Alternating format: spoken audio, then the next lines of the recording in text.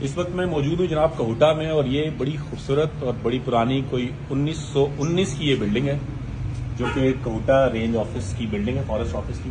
اور یہ بڑا ہی شاندار ایک سٹرکچر ہے۔ اور میرے ساتھ اس وقت موجود ہیں ہمارے بڑے پیارے دوست اور chief conservator officer forest Saqib صاحب۔ السلام علیکم سر کیا حال ہے؟ جی وعلیکم السلام۔ آج ہم نے جنگلات کے حوالے سے آپ کے ساتھ پروگرام میں شرکت کی اور فارسٹ کو ریجنریٹ کرنے میں اور اس کو بچانے میں ہم نے کام کیا۔ تو آج آپ کیا میسج دیں گے؟ خاص طور پہ مونسون پلانٹیشن کے حوالے سے کہ ہمیں فارسٹ ریجنریٹ کرنے میں کیا رول کرنا چاہیے کمیونٹی کو اور جو ہماری پبلک پارٹیسپیشن کیسی ہونی چاہیے؟ دیکھیں، یہ جو چیز ہے، پودا لگانا ہی کافی نہیں، جیسے ہر دفعہ ہم کہتے ہیں پودا لگانا، اس کی بعد میں حفاظت کرنا، اس کو پروان چڑھانا، اس کو جوان پودے کی شکل میں، تناور درخت کی شکل میں کنورٹ کرنا، یہ ہماری اصل ذمہ داری ہے۔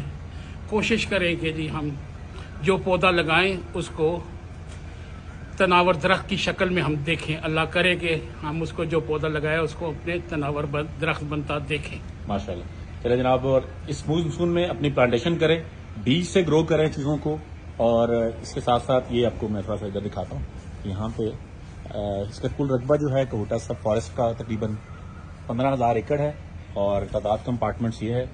اور یہ بڑی ایک ہیریٹیج بلڈنگ ہے، اور یہاں پہ پیپل کا درخت بھی لگا ہوا۔ تو کتنا خوبصورت پیپل کا درخت ہے، جو کہ یہاں پہ ایک ظاہر کسی وزٹر نے لگایا ہوگا یہاں پہ آتے ہوئے۔ تو یہ ہے جناب کبوٹا فارسٹ کا دفتر اور پیپل کا درخت۔ السلام علیکم۔